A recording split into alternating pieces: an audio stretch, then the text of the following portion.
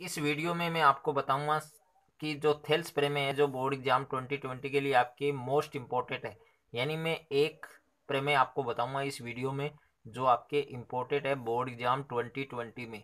यानी board exam 2020 में आपके एक थेल्स प्रेमे पूछी जाएगी, जो चैप्टर आपके 11 से होगी। यानी जो 11 का जो चैप्टर आपके समरूपता समरूपता वाले चैप्टर से आपके एक प्रमेय पूछी जाएगी, जो थ्योरम है वो पूछी जाएगी आपके। तो वो मैं आपको सोल्व करवाऊँगा इसमें। और ये इम्पोर्टेंट आपके सिद्ध कीजिए कि त्रिभुज की एक भुजा के समांतर खींची गई। एक रेखा त्रिभुज की शेष दो भुजाओं को प्रतिच्छेद करे।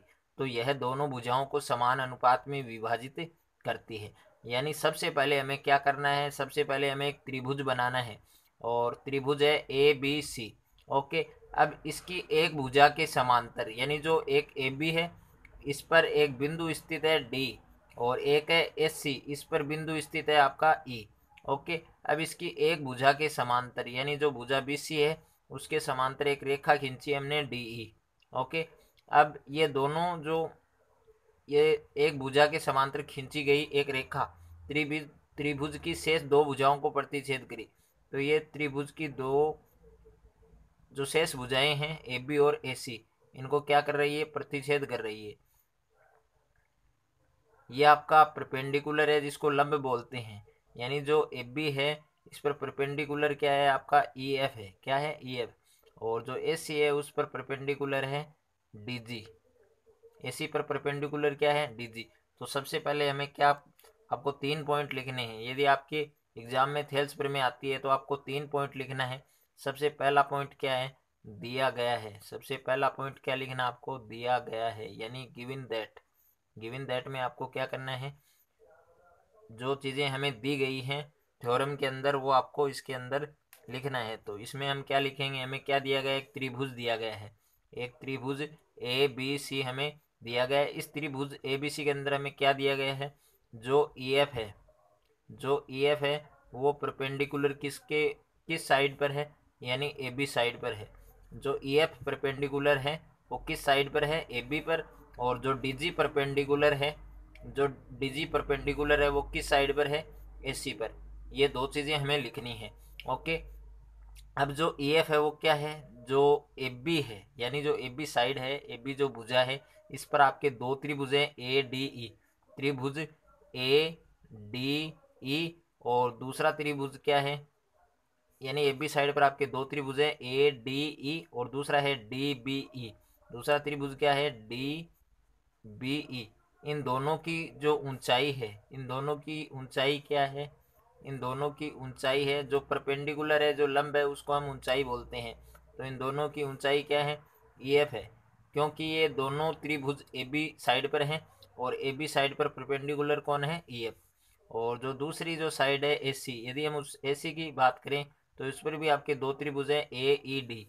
आप लिख सकते हो उसको, त्रिभुज ए, ई, डी और दूसरा त्रिभुज क्या है आपका? इसके अंदर ई सी डी दूसरा त्रिभुज क्या है? ई सी डी इन दोनों की ऊंचाई क्या है? यानी ये दोनों किस भुजा के, किस भुजा पर स्थित है? सी पर। तो ए सी पर परपेंडिकुलर क्या है? यानी ऊंचाई क्या है? डी जी तो इन दोनों त्रिभुजों की ऊंचाई क्या होगी? ए ई डी और ई सी डी इन दोनों की ऊंचाई क्या होगी आपकी? डी जी अब हम इसको प्रूव करते हैं। तो दूसरा पॉइंट आपको क्या लिखना है? दूसरा पॉइंट आपको क्या करना है इसके अंदर? तो वो मैं आपको बता देता हूँ। दूसरा पॉइंट आपको लिखना है इसमें सिद्ध करना है। क्या लिखना है? सिद्ध करना है। अब इसके अंदर हमें सिद्ध क्या करना है? यानी ये दोनों भुजाएँ समान अनुपात में विभाजित करती हैं। तो समान अनुपात क्या हो गए? ये हो गया ए डी और ये हो गया डी बी तो इसको हम लिखेंगे, इसको हम लिखेंगे A D upon D B क्या लिखेंगे? A D upon D B A D upon D B equal ये है आपका ए और ये आपका है ई सी तो इसके इक्वल में लिख देंगे हम, इसका रेशियो ए अपॉन ई सी ये हमें क्या करना है? प्रूव करना है। तीसरा पॉइंट आपको क्या लिखना है? उपपति। तीसरा पॉइंट क्या लिखना आपको? उपपति। अब इसके अंदर हमें प्रूव करना है कि ये जो वैल्यू है वो हमारी आई यानी जो आंसर है वो हमारा A D upon D B और ए अपॉन ई सी आई तो ये सब हम किसमें करेंगे? उपपति के अंदर करेंगे। तो सबसे पहले हम ए बी साइड लेते हैं और ए बी साइड पर आपके दो ट्रायंगल बने हुए हैं, दो त्रिभुज बने हुए हैं। एक तो है ए डी ई और एक है डी बी ई तो इन दोनों त्रिभुजों का क्षेत्रफल निकालते हैं। तो सबसे पहले हम त्रिभुज ए ई डी यानी जो पहला त्रिभुज है आपका, पहला त्रिभुज है A D E A D E इसका क्षेत्रफल निकालते हैं। तो त्रिभुज का क्षेत्रफल होता है, उसका फार्मूला मैं लिख देता हूँ। एक बटे दो आधार गुणा ऊंचाई, यानी वन बटे टू बेस इंटू हाइट। तो वन बटे टू इंटू इसका बेस कितना है?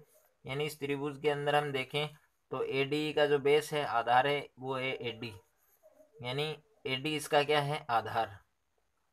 और इंटू हाइट क्या है इसकी? हाइट यानी दोनों जो त्रिभुज है ए डी ई और डी बी ई इन दोनों की ऊंचाई क्या है? ई e एफ़ है। ये हमारा आ गया है ए डी ई का क्षेत्रफल। और दूसरा त्रिभुज क्या है हमारा? ए बी साइड पर डी बी ई। इसका क्षेत्रफल हम फाइंड करते हैं। तो त्रिभुज का जो क्षेत्रफल होता है, उसका फार्मूला होता है वन बटे टू। बेस कितना है इसका? D B. बेस कितना है? D B into height. दोनों की सेम है। आइट क्या है? E F. यानी जो ए ए ए डी ई है, इसकी जो हाइट है, वो भी ई एफ़ है। और डी बी ई जो क्षेत्रफल है उसके अंदर भी हाइट क्या रखेंगे? ई एफ़ यानी दोनों की हाइट है, वो सेम है। यहाँ पर मैंने लिख रखा है। उसके बाद में क्या करेंगे? ये तो मैंने ए बी साइड पर जो दो आपके ट्राइंगल बने हुए हैं, उन दोनों का क्षेत्रफल निकाला है। अब क्या करेंगे? अब हम जो सेकंड है आपका, वो मैं यहाँ पर कर देता हूँ। यहाँ पर मैं वो करूँगा बाकी का लास्ट में, है ना?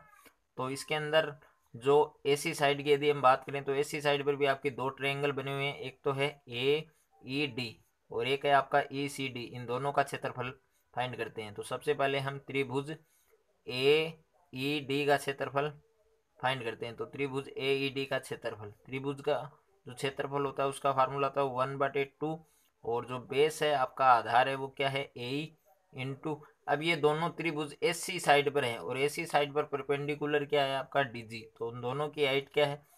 जो कि मैंने लिख रखी है यहाँ पर, त्रिभुज ए ई डी और ई सी डी इन दोनों की ऊंचाई क्या है? डी जी तो आधार है वो ए ही हो गया और जो हाइट है, ऊंचाई है वो क्या है? डी जी ये मैंने यहाँ पर लिख दिया सो अब अगला जो ट्राइंगल है, त्रिभुज है, वो आपका है ई सी डी तो त्रिभुज ई सी डी का क्षेत्रफल। ई सी डी का क्षेत्रफल।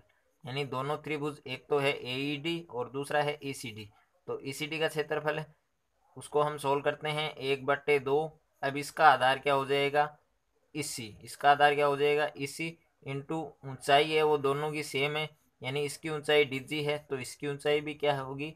डीजी क्योंकि ये दोनों ए सी साइड पर हैं और ए सी साइड पर परपेंडिकुलर क्या है आपका? डीजी जो कि ये आ गया आपका ई सी डी का क्षेत्रफल और ये आपका आ गया है ए का क्षेत्रफल, जो कि मैंने A B equal A C A B equal A C यानी ए बी जो साइड है उस पर आपके दो ट्रिएंगल हैं। दो ट्रिएंगल कौन कौन से एक तो है त्रिभुज ए ई डी का क्षेत्रफल त्रिभुज ए ई डी का क्षेत्रफल अपोन दूसरा क्या है आपका? त्रिभुज त्रिभुज डी बी ई का क्षेत्रफल। अब इसके इक्वल में रखेंगे रखेंगे हम। एस सी साइड पर जितने आपके ट्राइंगल बने हुए हैं, उन दोनों ट्राइंगल को रखेंगे। तो ए सी साइड पर आपके दो ट्राइंगल हैं। एक है आपका ए यहाँ पर ए डी ई है। ए डी ई का क्षेत्रफल और ये डी बी ई का क्षेत्रफल, ओके? और ए सी साइड पर है आपका ए ई डी यानी त्रिभुज ए ई डी का क्षेत्रफल।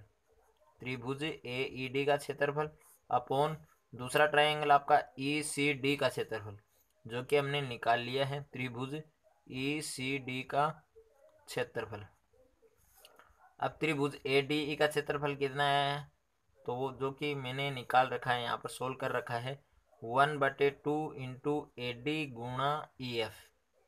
ये आपका आया है ए डी ई का क्षेत्रफल।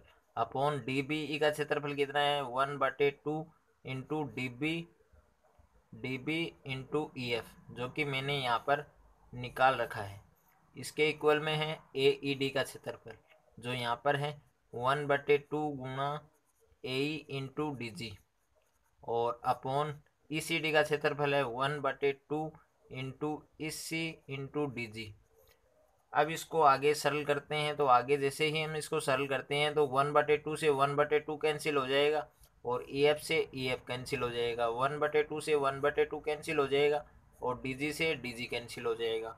अब आगे कितना शेष रह गया है तो ऊपर हमारा बच गया है ए डी और अपॉन नीचे हमारा क्या बच गया है? डी बी इसके इक्वल में यहाँ पर है हमारा ए ई और नीचे क्या बच गया है? ई सी तो ये हमारा क्या हो जाएगा? प्रूव हो जाएगा, यानी सिद्ध हो जाएगा।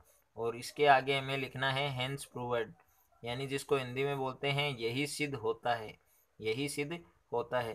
तो दोस्तों, वीडियो आपको अच्छा लगे तो वीडियो को लाइक करें, शेयर करें। Thank you thank you so much